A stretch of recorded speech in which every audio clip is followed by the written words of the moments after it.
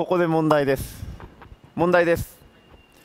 今日の T シャツは何と書いてあるでしょう？色見て色。よく色見て。何？マリンブルー。アクアブルー。コバルトブルー。正解は？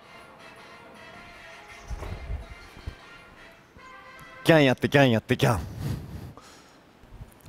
おはようございます。さあ今日は司神崎店さん来ました、えー、前回お邪魔したのが第881話でしたが、まあ、その時はバジリスク絆でねもう僕が何言ってたんでしょうね。もう中身差し替えたらどうっていうぐらいちょっともう配信するのが嫌な実践内容。それぐらいちょっとひどい結果だったんですが今回は10話ぶりの神崎実践。えーそうなんです。前回のリベンジにやってまいりました。とは言ってもあれは昨年の話。もうねあれから月日は経ってこう2019年ですからもうね去年のこと言っても仕方ないんですけどちょっとねあの日の悔しさを忘れてませんので今日はリベンジしたいなと思います。ただ人気機種ですからね座れるかどうかは抽選次第ということになります。おはようございます。はいありがとうございます。抽選は71番でございました。おはようございます。あはい失礼します。剣を渡すものだと思った。おはようございます。やっぱり今日は絆が打ちたい。絆が打ちたいけど絆が空いていません。ハーデスいきます。えー、こちらのコーナーがですねバジリスク絆とアナザーゴットハーデスが並んでいる一島となっております。狙いは絆でしたが71番座れませんでしたのでちょっとその隣のハーデスコーナーを打ちながら、まあ、展開良ければハーデスを追ってタイミングよく絆が開けば絆に移動してという感じで。今日はこちらからいきましょう。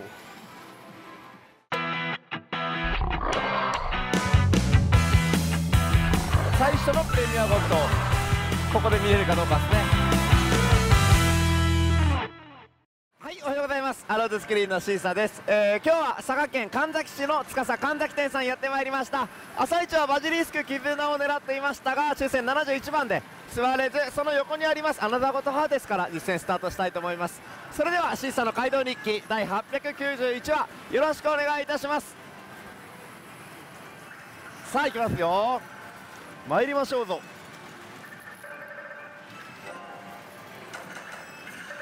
678ちょっと今日はね眼鏡をいつもと変えてみたというかそのままかけてきてしまったというあの運転用の眼鏡とこう収録中の眼鏡変えてて、まあ、自宅用の眼鏡とかもこう場所によって眼鏡を変えてるんですけど今日は朝から自宅を出てこの神崎市にやってきましたのでちょっとね運転中いつも仕事以外でかけてる眼鏡をかけてきたんですがそのまま現場に入りましてよしたまにはいっか。今日はこのまま行こうと思ってきました。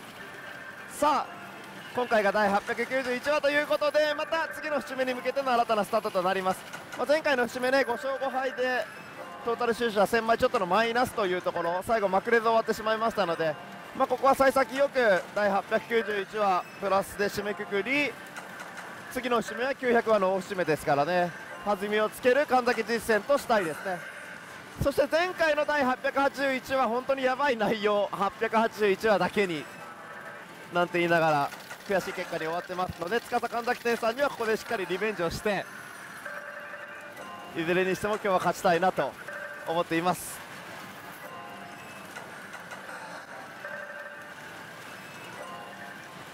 あ前回第890話の節目まだ今年に入ってからプレミアゴットが1回もないので今年最初のプレミアゴットが引きたいと言ってましたがそれがお預けとなりました、まあ、展開的には SGG の EX がありまして解消の実戦ではありましたけれども、えー、今年の最初のプレミアゴットここで見れるかどうかですね。その辺りも目指していきましょう。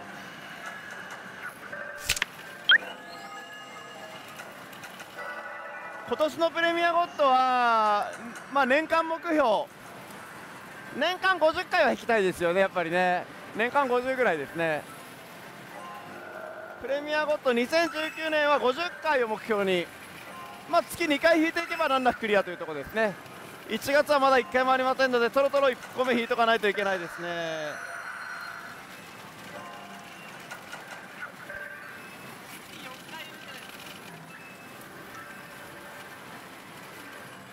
そうだね。月2回だったら24回しか引いてないことになるね。あれ？なんで月2回になったんだ？年間目標30回。年間目標30回です。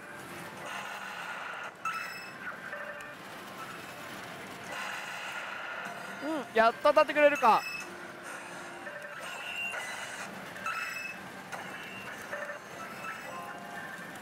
なんですか思わせぶりな煽りですね。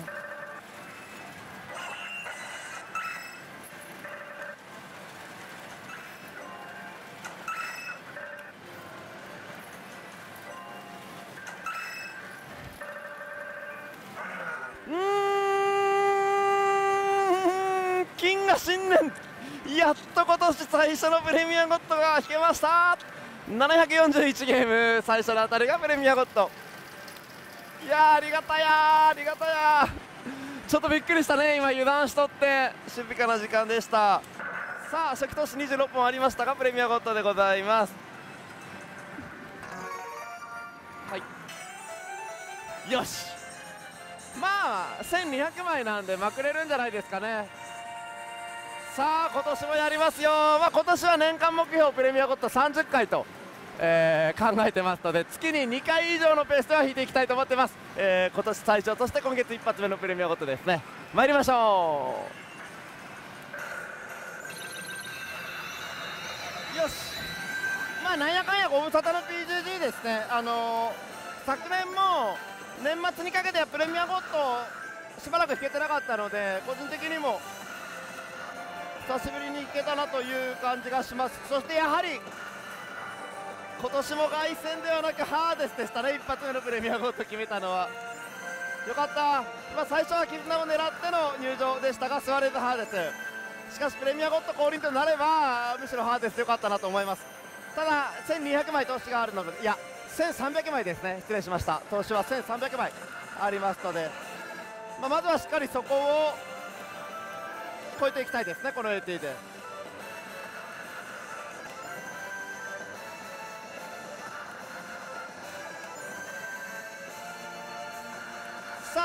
さあ、えー、ボットステージ来てからはなかなか上乗せできておりませんが最初のあたりがプレミアゴッドとなりました。さあというわけで今回の T シャツプレゼントのキーワードはここで発表したいと思います。そうですね。今回 T シャツプレゼントのキーワードは今年最初のプレミアゴッドとなりましたので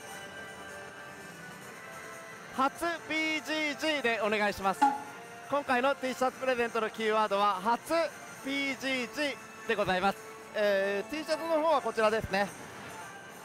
ギャンやってギャンやってギャン T シャツです。まあ、どういう意味かと申しますとですねこうやってああやってこうそういう意味でございます。よろしくお願いします。応募方法はアロード作りのホームページで、えーぜひご確認くださいませ。上乗せできなかったですね最初の100ゲーム。さあここからが大事な時間です。まずは最初のジャッジメントまであと1ゲーム。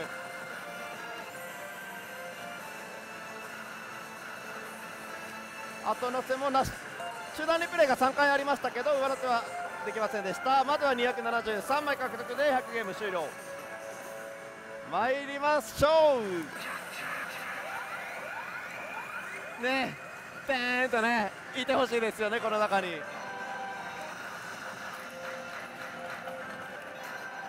それでは1つ目のジャッジメントでございます。まずはケルベロス。まずはケルベロス。プレミアゴッドを引いてもやっぱり朝一はあなたなんですね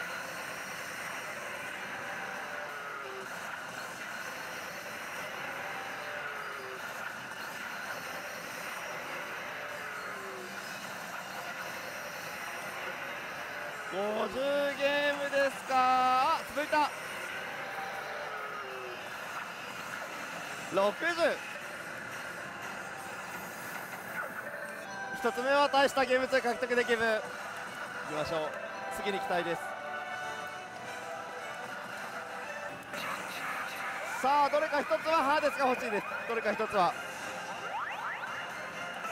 なんなら自力でハーデス持ってきますか？さあここはハテナナビではありますがチャンスフェイクリプレイさあ2つ目はおおちょっと厳しくなってきたかも。これでケルベロス2連続。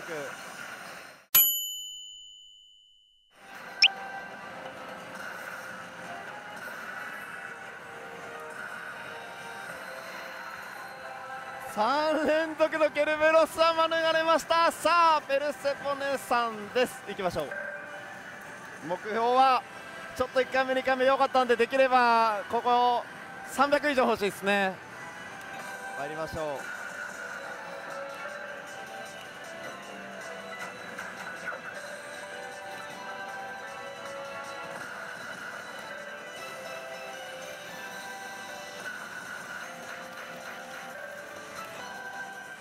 来ないね。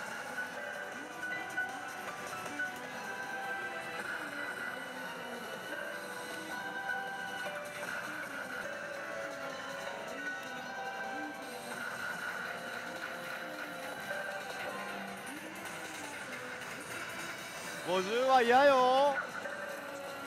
あ。さあ10ゲーム目でようやくカットインが来ました。お願い揃って。よかった。これで100ゲーム。上がって。上がって。もう10ゲーム目です。うー上がらんか。少ないですね。ペルセブネは100ゲーム。もう3つ目かまあ、とりあえずここは100ゲームありますので消化中の上乗せあるいはジャッジメントに期待しながら、まあ、さらにプレミアゴッドの後なのでループストックにも期待してここから伸ばしていきたいと思います。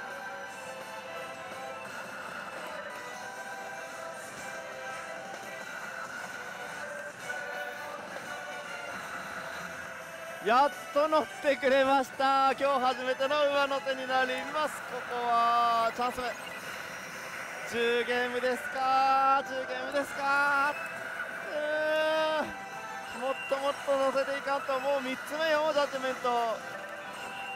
あジャッジメントないか。ないか。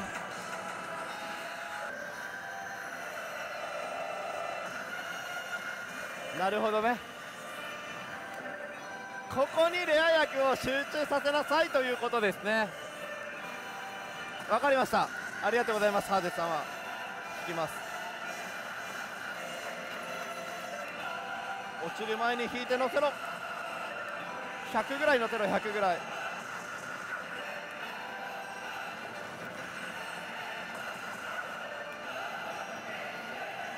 いいよ。あやっと乗った。30ゲーム。ジャッジメント来ないかね？ジャッジメント。ジャッジメントまでお願い。ジャッジメントまで。乗ったはいいが30ゲームなので中段機ならとしては最低ゲーム。さあジャッジメント。チャンス。いってない。当たってない。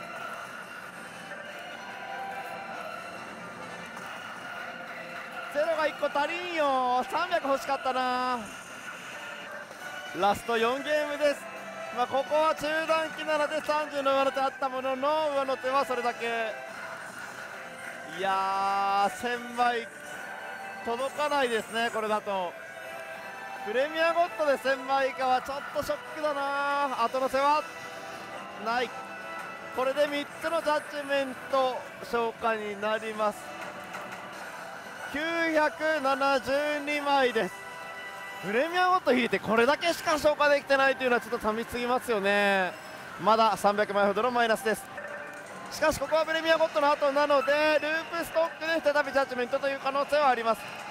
そこに期待するしかなかろう。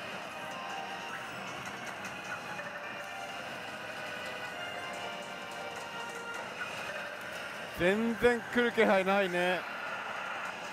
終わっちゃう？いやある？あってお願い。いいよ。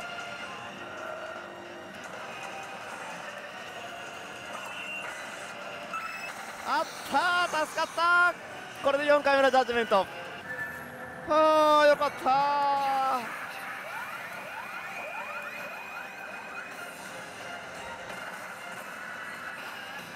まあまあ。まずはジャッジメント1つ出てきてくれてよかったです。まあこうやってねケルベロスが続いたとしてもとにかく当て続けて AT を消化していればどこかで必ず来るでしょうからね大きな上乗手あるいは大きなジャッジメントが。さあここも60ゲーム大したゲーム数にはなりません。4回ジャッジメントを消化しました。プレミアゴッドを引いておきながら最高初期ゲーム数は100ゲームと、まあ、かなり弱いですね。始まりが。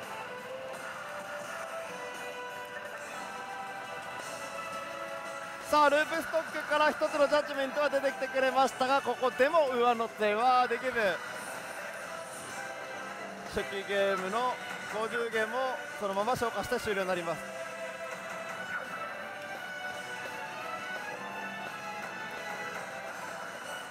えー、プレミアゴッドの割には小さい目標ですけどまず1300枚は出したいですね。1300枚は出したい。さあ2つ目のループストックあるか。もう1個あれば、まあ、1300枚は届きそうですけどね。もうちょっと200数十枚なので。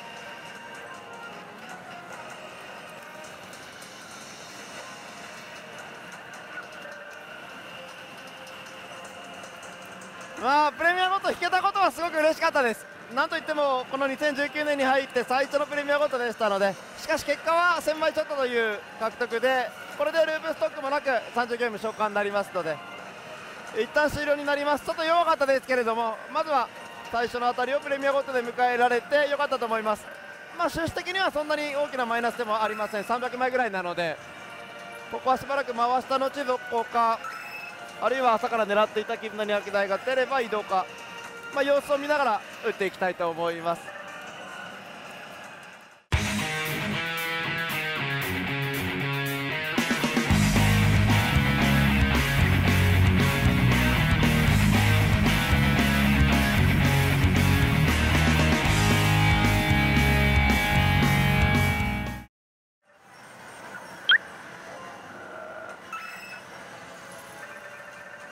400ゲーム台ヘルゾンなかったもののレア役からチャンスは来たんですが結果ジャッジメントにはたどり着けず400ゲーム台も終わろうかとしています。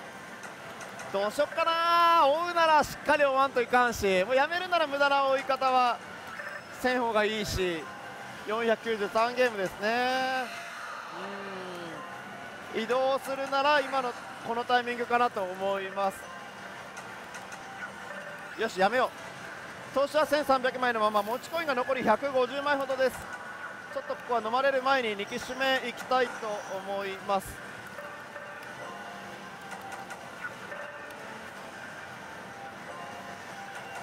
はい。ちょっと他の台見てきます。絆が来ました。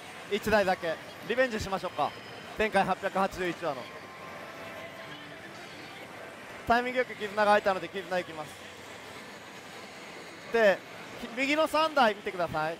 箱が上に積まれてるでしょう。2000枚2000枚という感じで出ててね。で左も箱がね綺麗にこう全部全部箱にメダルが入ってますよ。この列。いいんじゃない？さあアナザゴットハーデスはプレミアゴットありながらプラスを残すことできませんでした。で、えー、バジリスク絆フル稼働だったんですけど1台空きましたので、えー、こちら、まあ、前回第881話で撃沈した司神崎店さんですので、まあ、同期の絆にリベンジしたいなというところですね。リプレイが揃ってたので一応これ打たれてたお客様にもうあれいいですか？って言ったらあどうぞどうぞという感じだったのではい行きます。投資は1300枚持ち込み150枚ほどからのスタートです。参ります。128ゲーム。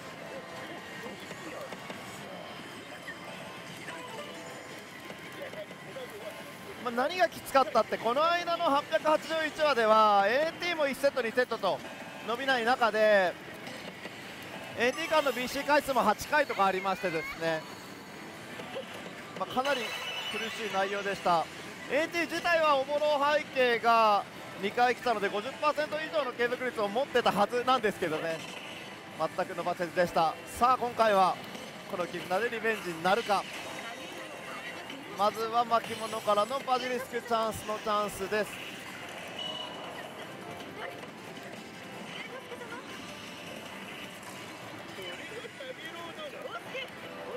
外れも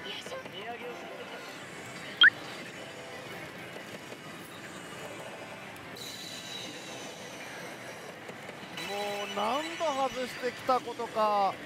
またちょっと絆で嫌な雰囲気になってきてますよね。最初のバジリスクチャンスは持ち込んで引けたんですけどその後一気に427ゲームまで今回してなかなか強手にも巻物も当たってくれていませんで。引いてはいるんですけどね。引いてはいるけど当たってくれない。これでまた500とかいけばもうまたかーってなっちゃう。すでに投手はこれで39本。やばいね。厳しか。これで40本2000枚です投手は。41本目ですから。絆だけで25本か。投資が。バジリスクチャンス引けないまま500ゲーム消化となりました。総投資は41本です。はい。天井です。向いてないのかな？キブナは。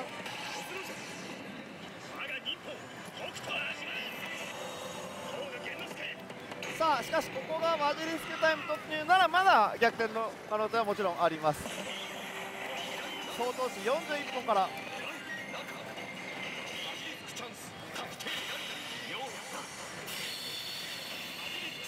頼むよ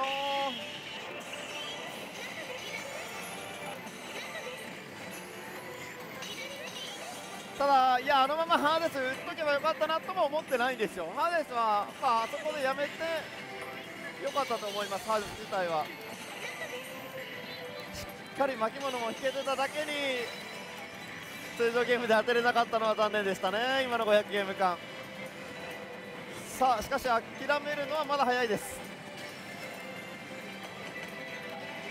この第2期生2回目のバジリスクチャンスはどうでしょうか？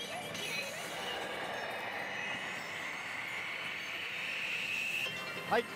バジリスクタイムには入りましたね。さあ総投資2050枚を取り戻せるかどうか。参ります。天然。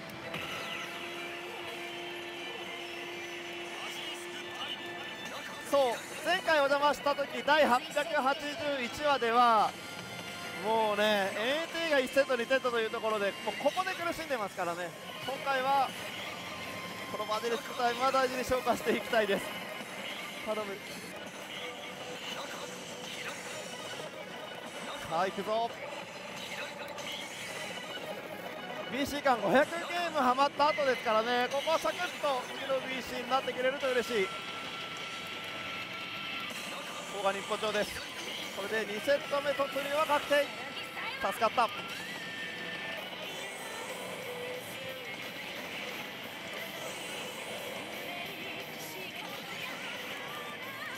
ちょっと展開悪いですけど、ハーデスも絆も今日はレイア役かなり引けてるんですよ、僕自身は。なのでね、こううまく骨格リスト絡んでくれたら面白くなりそうです。さあ、1セット目、2回目の巻物は、ここは熱い、ここは熱い。もらったな。もちろん継続は確定してますので BC 当選なら3セット目まで確定となります。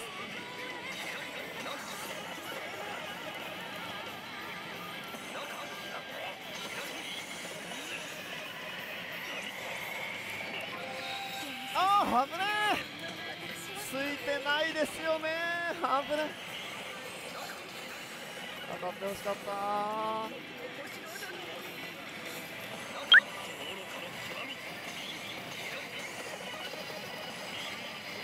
さあ2セット目のバトルになります。まだ終わったらいかんよ。しゅんちゃん頑張って。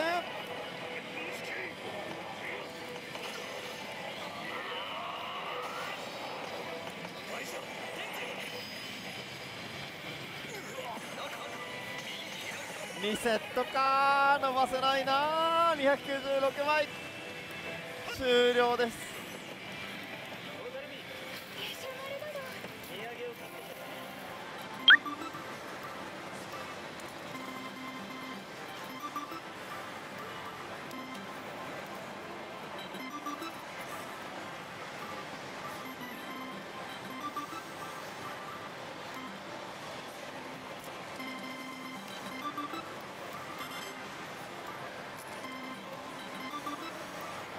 もうさすがにきつくなってきました。結局マイジャグ3ではボーナスを引くことすらできずに飲まれ追加投資を行ってしまい総投資の方が43本2150枚となってしまいました。もうこの残りのクレジット分がなくなったら今日はここで終了したいと思います。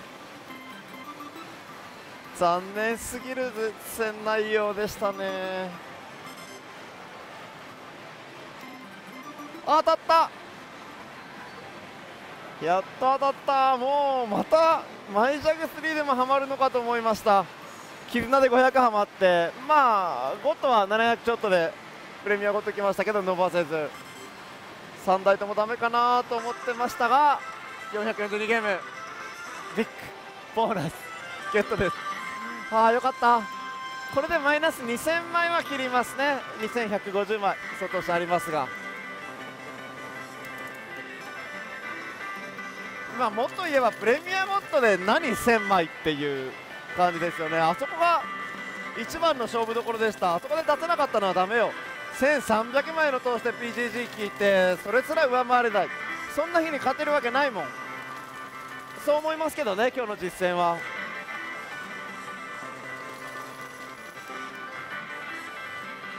はい。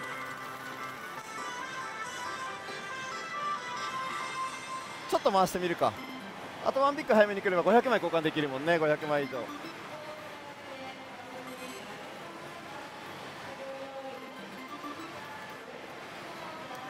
もう本当にやめようかしてましたあのクレジットのメダルで。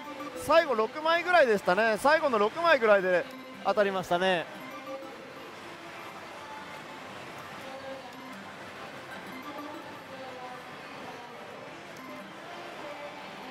これこれが映るようにその角度撮ってんの？もしかして。じゃさっきのゴーゴーランプも映ってた？おお当たった。映ってた？さっきのゴーゴーランプも8ゲーム。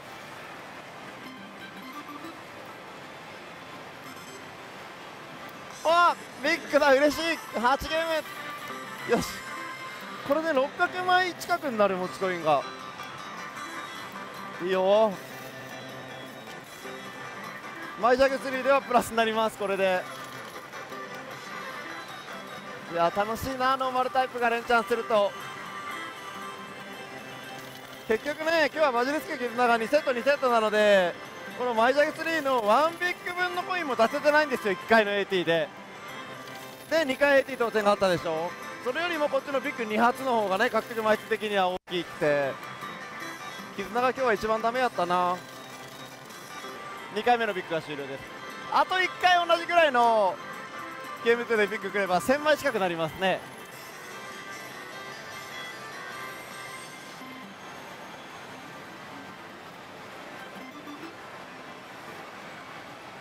ソフトタッ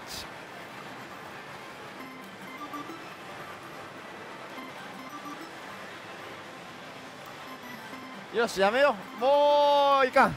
今日はちょっとねハーデス絆で傷を負ってしまいまして、まあ、最後ちょっとマイジャグ3でマイナスを減らすことはできましたけれども前回のリベンジは果たせず次回にまた期待したいと思います。今日はここまで。交換します。総投資は結局2150枚。はいというわけで今日は司神崎店さんでの第891話でした。えー、朝一座ったアナザーゴットハーデスでは今年最初のプレミアゴット。引けましたのでよし今日はと思ったんですがプレミアゴットは伸び悩み。そして2消し目の絆も2セットの AT2 回のみと AT 自体は伸び悩み。3機種マイジャグ3でなんとか500万以上の交換ができたという実戦でしたね。まあ、投資の方が今日は2150枚とやや大きくなってしまいましたので、えー、最終的には1624枚のマイナスという結果で負けてしまいました、まあ、前回第881話の時に絆で、まあ、相当悔しい結果でしたのでなんとかリベンジしたいと絆に座りましたけども司神崎店さん、えー、今回も勝つことはできませんでした、まあ、ただ今日はですね。プレミアゴッドが引けたので、まあ、今年もこうゴッドシリーズで PGG をたくさん引いていきたいなと思っている上では非常に良かったかなと思います。ただ PGG を引いたにもかかわらずこの大敗はちょっと悔しすぎましたので、まあ、また次892は、えー、福岡県今度は博多での YouTube ライブとなってますので、えー、今日の負け分以上のプラスを目指してまた、えー、やっていきたいと思います。以上審査の街道日記第891話でした。